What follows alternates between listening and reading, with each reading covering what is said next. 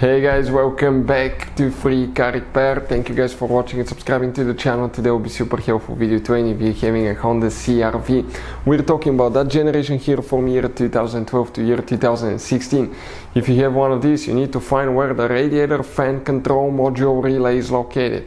Actually, you have up to three relays for the radiator fan, one is for the control module. Stay with us, we'll explain about each one of those, where they're located, where you can buy cheap relays, fuses, that way don't waste your money, why it's important to test fuses and relays. All that guys will be covered absolutely free for your convenience, make sure you stay until the end.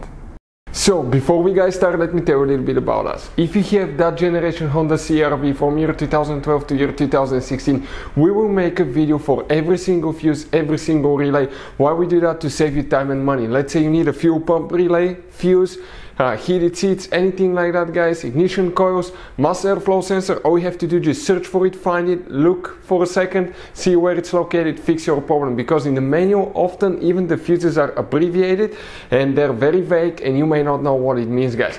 But something else guys, uh, here at the garage we're constantly working on things, constantly fixing things. Those are our main YouTube channels. We have over 1.2 million subscribers guys.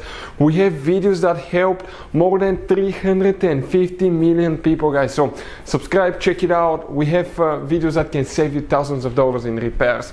Now another thing guys, let us show you something. That Honda has some special fuses guys. But even if you need to buy any fuses, relays at a good price, quick shipping guys, okay anything you can see you have different kinds of relays. Special fuses here okay those are multi-block fuses like this one is 11 fuses integrated in ones that's what they look like. Let us show you quick. That's the side view eh, 11 individual fuses in one.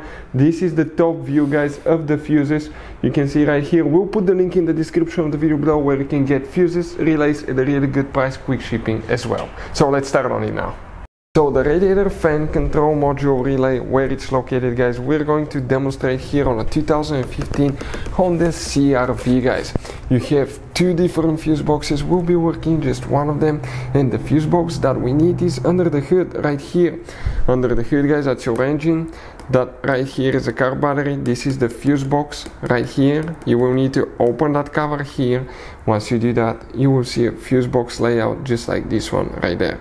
Before we continue let's explain why it's important to test fuses and relays now so let me explain why it's super important guys to test fuses. Fuses not often you can see if they're burnt or they're good. Sometimes they may seem perfectly fine, you think it's a good fuse, you put it back in and you end up uh, spending money and time on parts and problems that uh, do not exist guys when all you had to do test your fuse, find out it's bad, replace it, fix your problem. So we will have a video how to test a fuse, okay, different kinds of fuses and how to test relays guys. We're going to put the link in the description of the video below specifically to that video. Please check it out. So here guys, which relays we need to check. For the radiator fan control module guys, okay, you're going to have one relay that's specifically, okay, specifically for that. And we're talking, if you come right here, you start on this side, 1, 2, 3, 4, 5, 6, 7, 8, 9, 10, 11. That relay right here is for the radiator fan control module. The one next to it, number 12, that's for radiator fan. And also you have one more down here, number 3, that's for the radiator fan as well. Hopefully the video will be helpful. Thank you for watching. See you next time.